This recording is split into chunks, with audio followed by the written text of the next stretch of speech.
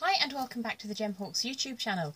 Today I wanted to show you quite a traditional way of making a chain link from segments of wire. You will need a couple of different tools. You'll need some good flat facing pliers, some round nose pliers and some really nice cutters. They don't have to be flush cutters but you do get a nicer finish if you can have a reasonably decent quality pair of cutters.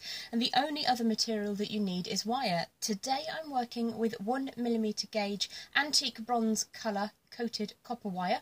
Always a mouthful getting all the details out, but any one millimetre wire will do. So I'm going to show you what we're looking to create, which is a really nice substantial chain known in some circles as Egyptian link chain or Egyptian link. So I'm going to show you the various stages that we will go through and this is one of those things much like rosary linking where it pays you to get ahead of the game and prepare lots of little pieces of wire all the same length before we start.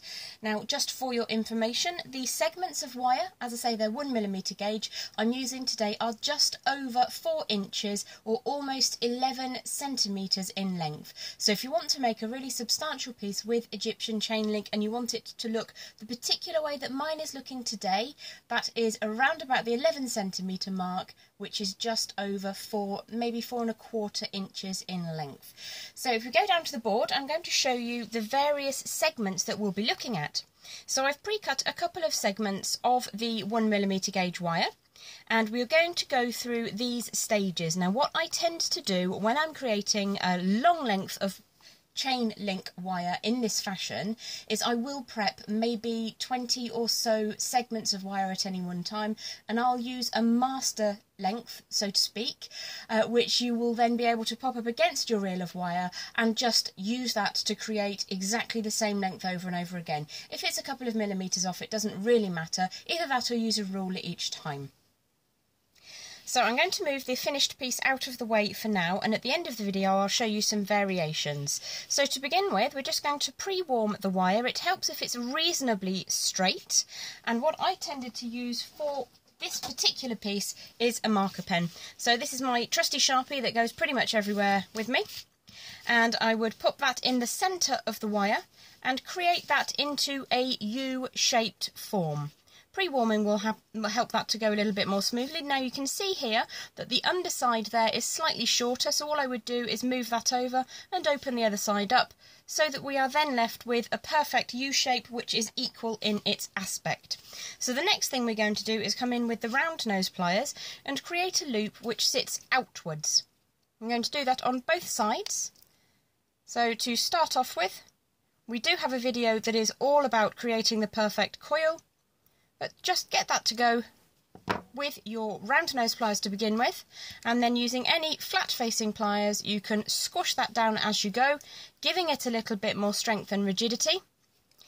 And you would need to as you're going along make sure that you're getting the same amount coiled up either side. So what I tend to do is to have a little section like this which I use as a master which I will match up the coils as we move through the different parts. And if you do go a little bit too far, you can always unwind that ever so slightly and just bring that back to true. So we're going to take our third segment here and turn it into segment number four. Again, with the round nose pliers quite close to the end of the tip of the pliers as well. Give that a good grip to get that going and turn that into a coil. It does sometimes slip out of your hand, especially if you're warm as I am today. It's an unseasonably warm January day here in Oxfordshire. So continue to coil that up and as, as, I say I would refer back to my master all the time to make sure that they were the same dimension. So I can see I've gone a little bit too far on that side as well. So just draw that back down a little bit, draw that back down a little bit and you know that that's going to be the right size. Now in order to retain that beautiful circular shape in the centre I would return back to my marker pen and just push those gently together. And to keep them identical I'm actually using the size of the pen pushing those two circles until they sit in the middle and in that way I know that when I get to this section they're all going to be pretty much the same.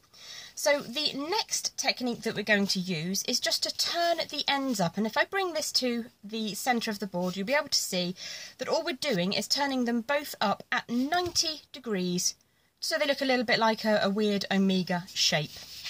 And the way that I do this, because obviously my pliers are the same length, as the same width rather here as they are here, but they do taper in this direction. So if you go in this fashion and twist up, you can end up with slightly twisted coils. So what I tend to do is make sure that they're pushed together really firmly and take in these lovely long tip across the broad tip across the end there and then push the loop up rather than trying to push the coils up.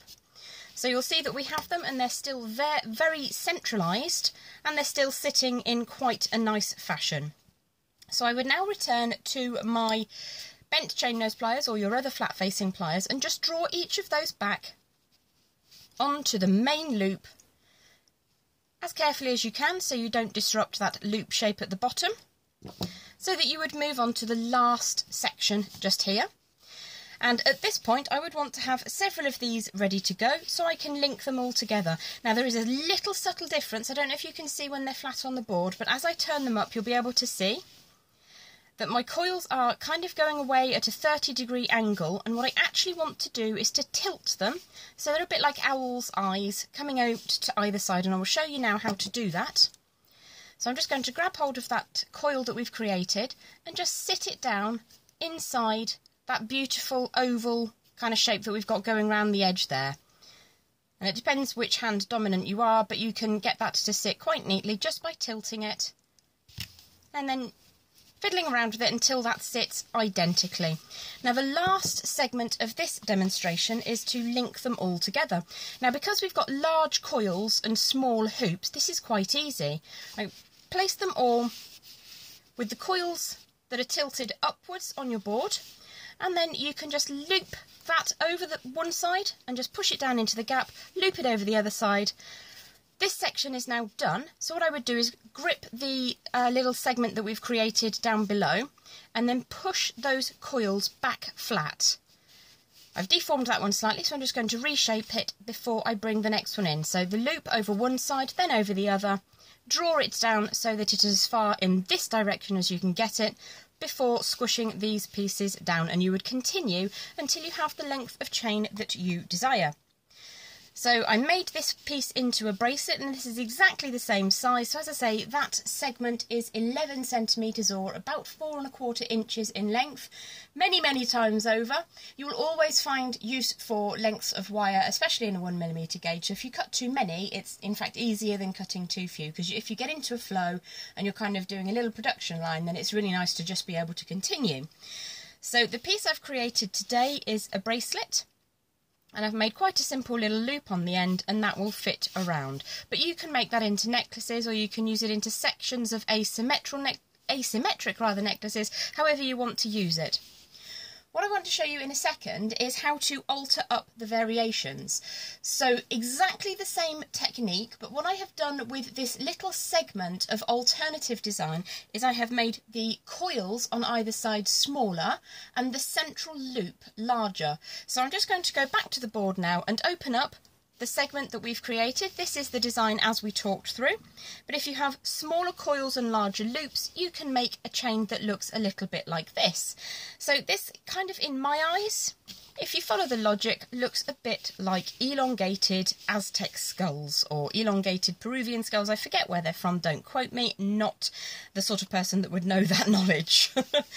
but that is a really, really cool design, and you can use that exactly in the same way as you would as a bracelet or as a necklace. It's a really lovely coil linking design and once you have squashed down and you've made sure that these pieces are in position properly and you can do that by hand rather than by pliers that's really quite a secure little chain to be using. So that today is your Egyptian link or your Egyptian chain, however you prefer to know it. I hope that's been a helpful demonstration for you today. Uh, you can use it in many different ways, but it does look really cool on the wrist because you can kind of see the intricacies of it. So I'm Jem Gem Thank you for sticking with me. Thank you for watching the demonstration with me today. I hope you're having a wonderful, wonderful time wherever you are, whatever you're doing.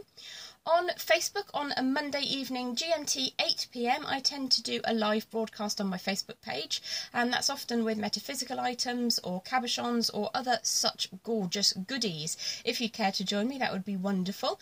Uh, do feel free to share the channel, and Sunday of next week, I think it is, we're going to be drawing a winner from the YouTube video all about hitting 500 subscribers. So if you've not already dropped a comment on the 500 subs uh, video here on YouTube, then please do.